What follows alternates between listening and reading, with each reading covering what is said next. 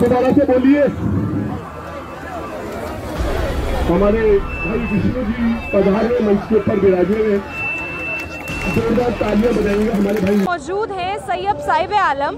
तो सर, आपसे जानना चाहेंगे, आज यहाँ घुमंतू समाज के लोग अपना धरना दे रहे हैं। सरकार से तमाम मांगे कर रहे हैं कि इन लोगों के पास खाने, कपड़े पहनने के पैसे नहीं है, रहने की जगह नहीं है। सरकार अब तक क्यों सोई है? आपको क्या लगता है? देखिए, मुझे लगता है कि ये लोग घुमंतु अर्ध घुमंतु कम है।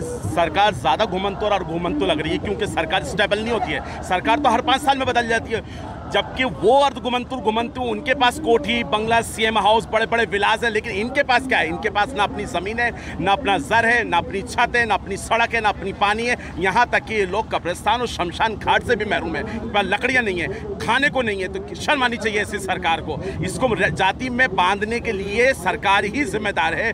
असल में जल जंगल ज़मीन के जो असली मालिक है, वो ये लोग हैं। हम इनको रिस्पेक्ट करते हैं, इनको सल्यूट करते हैं। और सरकार तक ये बात जानी चाहिए। सरकार तक ये बात इसलिए जानी चाहिए कि सरकार छोटे छोटे मुद्दों को विधानसभा में पारित कर देती है। क्या इतना बड़ा मुद्दा उनको दिखाई नहीं देता? इतने बड़े लोग उनको दिखाई नहीं देते? क्या ये इंसान नहीं है? क्या इनमें प्राण नहीं बसते हैं? लेकिन बड़े अफसोस की बात है कि सरकार ऐसे मुद्दे पे बिल्कुल संवेदनशील नहीं है। मैं इसकी सख्त लफ्ज़ों में मजम्मत करता हूँ और आपके चैनल के माध्यम से मैं चाहता हूँ कि सरकार तक ये बात जाए और सरकार को होश आए और फ़ौरन का एक प्रतिनिधिमंडल आके इन लोगों की डिमांड को सुने इनकी बात को माने और इनका जो एक डेलीगेशन उनसे मिलना चाहता है ये अपने मेमोरेंडल के साथ में उनकी मांगों को तुरंत पूरा किया है ऐसी मैं उम्मीद करता हूँ।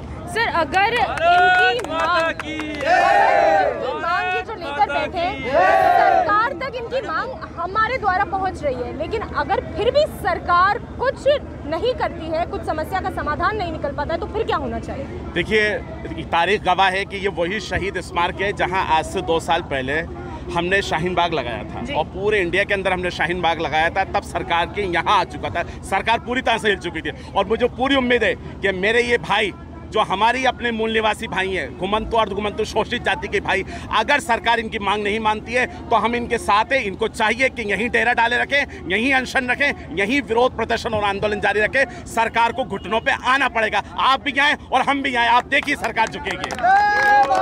सबसे बड़ी बात कि सरकार घुटनों पर आती है साथ कोई समझौता होता है। सर, एक और चीज़ जानना चाहेंगे कि अगर ये लोग यहाँ पर जिस तरह से अंदर लोगों ने मुझे कहा, सरकार नहीं सुनती है तो अनशन पर बैठ जाएँगे।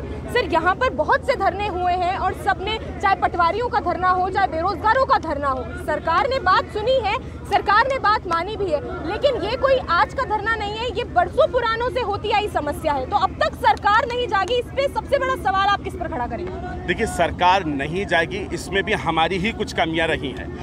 सरकार तो स्टेबल है, वो तो पाँच साल पूरे करके चली जाएगी। और विपक्ष में बैठे लोग हमसे झूठे वादे कर लेंगे, लेकिन जब वो सरकार में आएँगे, तब भी वो वादे पूरे नहीं करेंगे। समस्या तो हमारी है, इसलिए इस समस्या को उठाने से लेके इसको अंजाम तक पहुँचाने की भी ज़िम्मेदारी हमारी है। सरकार कभी किसी की मदद नहीं करती। सरकार सिर्फ़ हमसे वोट लेना जानती है, और हमारी वोटों से और हमारी टैक्स पैसे सरकार बनती है। लेकिन अब हमने ये ठान लिया है कि सरकार को भी झुकाएँगे, और सरकार को बदल के रख देंगे, अगर सरकार ने मांग नहीं मानी। ये सबसे बड़ी बात कि अगर सरकार मांगे पूरी नहीं करती है तो जनता के पास वो पावर है वो हिम्मत है वो ताकत है जो सरकार बदलने की हिम्मत भी जी सर आपसे जानना चाहेंगे कि क्यों आखिर ज़रूरत पड़ी घुमंतु समाज को धरना प्रदर्शन करने की घुमंतु समाज को या धरना देकर इस तरह से शहीद स्मारक आने की। ये राजस्थान की राजस्थान की सभी राजस्थान की सभी सभी घुमंतु जातियाँ हैं। गाडोलिया, बंजारा कालबेलिया भोपा, नटभांड इन तरह की जो जातियाँ हैं, ये राजस्थान के अंदर केवल केवल पैंसठ लाख की आबादी का ये समुदाय निवास करता है। मगर आज तक देश आज़ादी के बाद भी मगर ये अपने मौलिक अधिकारों मौलिक मौलिक अधिकारों से ये समाज बचा हुआ है।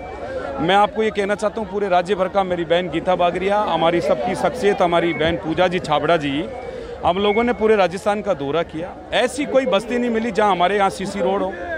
ऐसी बस्ती हमें नहीं मिली जहाँ हमारे पट्टा हो। ऐसी बस्ती ना मिली जहाँ हमारे पीने का पानी हो। सरकारें वादे करती है, सरकारें ये कहती हमने ये दे दिया, ये दे दिया। मगर जो हमारा मेन टाइटल है, अधिकतर जो बस्तियाँ छुआछूत भेदभाव के कारण मुख्य गाँवों से हमारी बस्तियाँ दूर है। वहाँ ज़मीन के तो गौचर भूमि है, या सिवाईचक भूमि है, या या वन भूमि है तो उनका टाइटल है, वो हमारे कभी क्लियर होता नहीं, हम लोगों को पट्टा मिलता नहीं। ग्राम पंचायत की जो पॉलिसी है, वो हमारे समाज के प्रति बहुत खिलाफ है। वो कभी हमारे पास हमारी कम्युनिटी के प्रति प्रस्ताव भेजते नहीं है, इस कारण वो पट्टा हमें जारी होता नहीं है। तो मेरी सबसे पहले तो ये मांग है कि चाहे हम चरागाह में बैठे, या हम पीला नाम में बैठे या सर्टिफाइड बैठे या जेडीए की ज़मीन, या नगर पालिका की नगर ज़मीन, या ग्राम पंचायत की ज़मीन, जहाँ पे भी हम बैठे हैं। सरकार हमें अति शीघ्र वहीं हमें एसडीएम लेवल पे आदेश करके हमें सबको सीवर लगा के अलग से हमें पट्टा दिया जाए। दूसरा, ये मेरी बहन बागरिया समाज है, बहुत ही गरीब कम्युनिटी है। उन्नीस सौ चौरानवे में ये जातियाँ पहले एसी में थी। इन जाति को इन्होंने ना सोचा, ना समझा, ना कोई ऐसा सर्वे कराया और इस जाति को इन्होंने ओबीसी में डाल दिया। तो ये हमारे साथ बहुत घोर अन्याय हुआ हम ये चाहते हैं कि बागरिया और बागरी, मोगिया, इन तरह की जो जाति हैं, वो एक ही है। भोपा जाति है, जो पहले एसी में जो जाति थी, इन जातियों को बेचारी को ओबीसी में डाल दिया। नायक भोपा एक ही, इनको एक ही मान के एसी का दर्जा दिया जाए। तो हमारी इन तरह की जो मांगे हैं, मैं ये चाहता हूँ कि सरकार और हमें कुछ दे ना दे। अरे, हमारा मौलिक अधिकार तो हमें दे। भाई, रहने का पक्का घर, सरकार ये कहती कि दो टाइम की रोटी, एक टाइम के कपड़े स्थायी मकान, बीपीएल, ये सरकार गरीबों के लिए इनकी योजना, मगर हमारे घरों तक तो नहीं आ रही है। ये जितनी भी तख्तियाँ लग रही है, आप देखें इनमें, हमें हमारे हमारे जो गड़े मुर्दे हैं, उनको बाहर निकाल जाते हैं। आए दिन हमारी बस्तियों को तोड़ी जाती है। आए दिन जो सरकार का, जो हमारे पे अत्याचार पे अत्याचार हमारे समुदाय पे होता जाता है, इस कारण आज तो चलो ठीक है, हमारा ये लोग आए हैं, मगर मैं पूरे राजस्थान में मैडम आह्वान कर रखा हूँ और राजस्थान से कम से कम ही पचास हज़ार लोग घुमंतु जातियों के आएँगे। और मैं माननीय गहलोत साहब से निवेदन करना चाहता हूँ कि हम आपके ही लोग हैं, आपके वोट हैं, और आप हमारी भावना को भलीभांति से आप जानते हैं।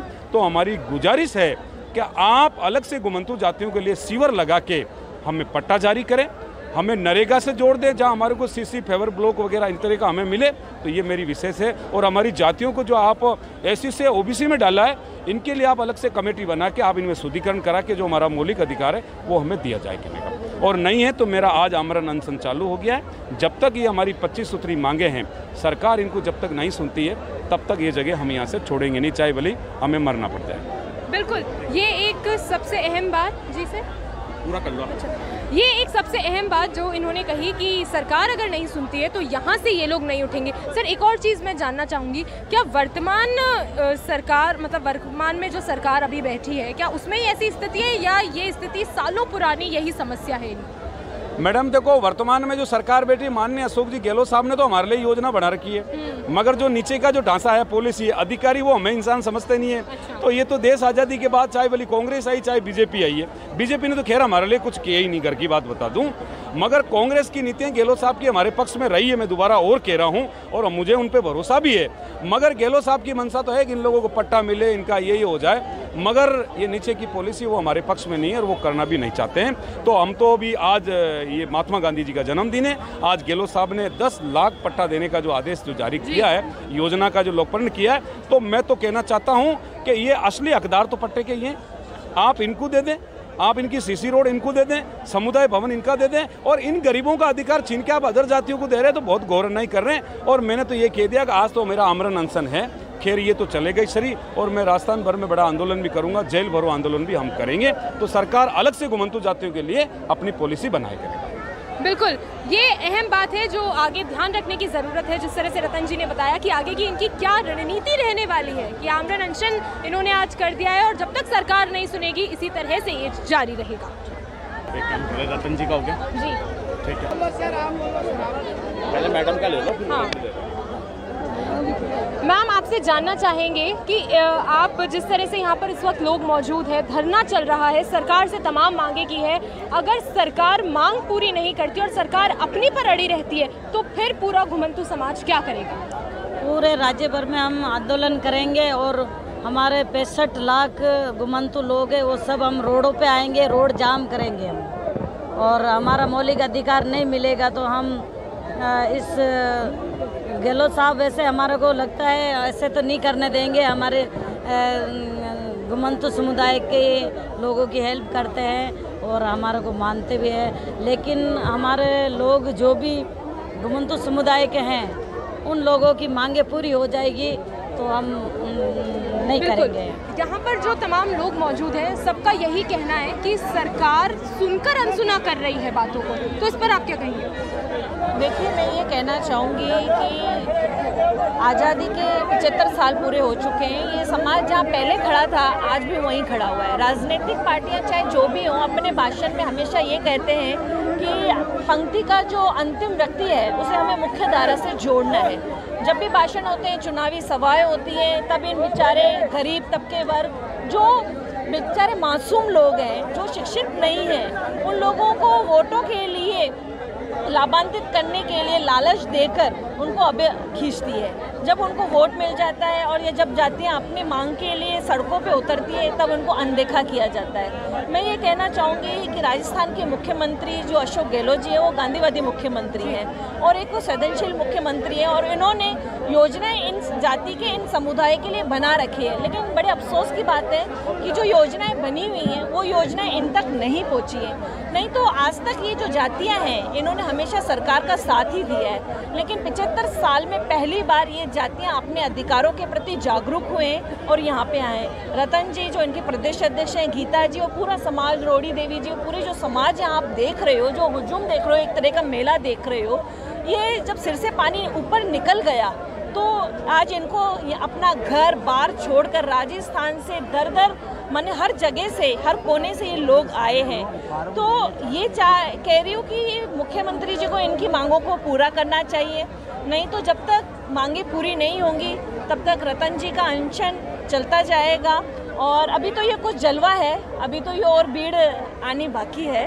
तो वो कहूँगी तो अभी तो ये झांकी दिखाई है तो इन्होंने। सरकार को साफ़ तौर पर आपने ये कह दिया है कि ये तो सिर्फ़ ट्रेलर है पूरी पिक्चर अभी बाकी है। तो सरकार को समझ जाना चाहिए अब कि सिर्फ़ ये ट्रेलर से ही समझ जाना चाहिए कि अभी तो आगे ना जाने क्या कुछ होने वाला है। अगर सरकार मांगे नहीं मानती है तो सरकार को शायद बहुत कुछ देखना। गुलामी उन्हें मंजूर नहीं थी। और आज़ादी को हम खोने नहीं देंगे।